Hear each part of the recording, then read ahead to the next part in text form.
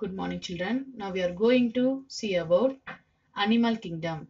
This is 17th unit in your 9th standard science book. The variety of living organisms surrounding us, nearly 1.5 million species of organism which have been described are different from one another. Every organism exhibits variation in their external appearance, internal structure and behavior, mode of living, etc.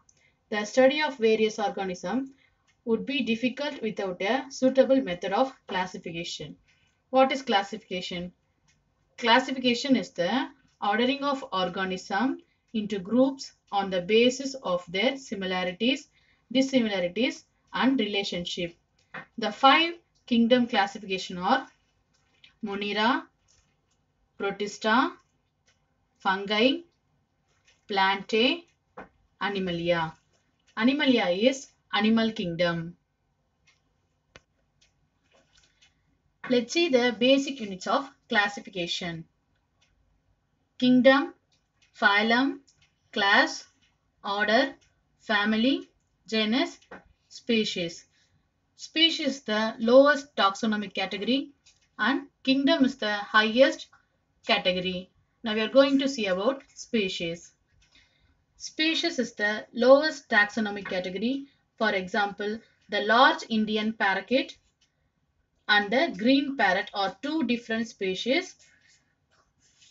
They belong to different species, Eupatria and Krameri, and cannot interbreed. The next level is genus. It is a group of closely related species which constitute the next higher category called genus.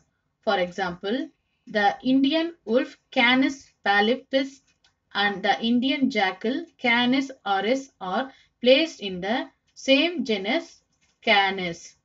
Next level is family.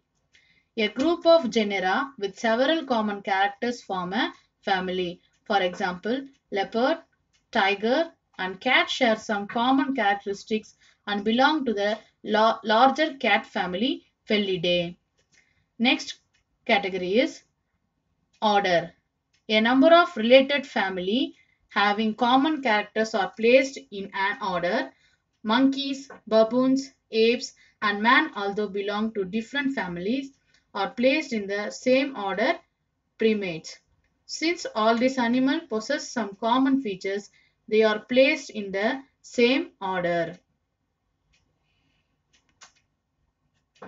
The next taxonomic category is class. Related or similar orders together form a class. The orders of different animals like those of rabbit, rat, bats, whales, chimpanzee and human share some common features such as the presence of skin and mammary glands.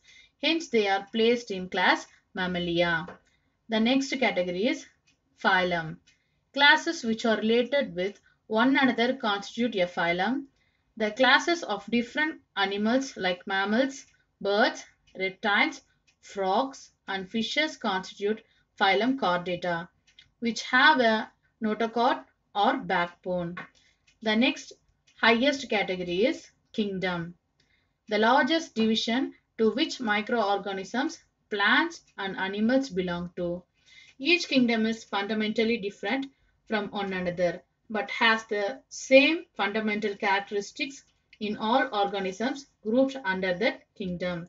Okay children, in this class we saw about classification and classification of living organism.